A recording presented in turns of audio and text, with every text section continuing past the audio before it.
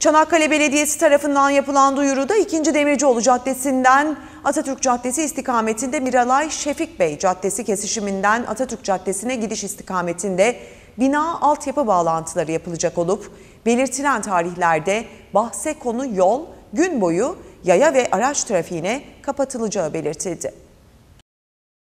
Yapılan duyuruda belediyemizce yapımında sona yaklaşılan Çanakkale Belediyesi Yeşil Yerel Yönetim ve Kültür Merkezi binasıyla yakın çevresi düzenlemesi ikmal yapım işi kapsamında 3-4 Aralık günlerinde İsmet Paşa Mahallesi 2. Demircioğlu Caddesi'nden Atatürk Caddesi istikametinde Miralay Şefik Bey Caddesi kesişiminden Atatürk Caddesi'ne gidiş istikametinde bina altyapı bağlantıları yapılacak olup belirtilen tarihlerde bahse konu yol gün boyu yaya ve araç araç trafiğine kapatılacaktır. Çalışma süresince kentlilerimizin trafik işaret ve işaretçilerine uymalarını diler, bilgilerine sunarız ifadeleri yer aldı.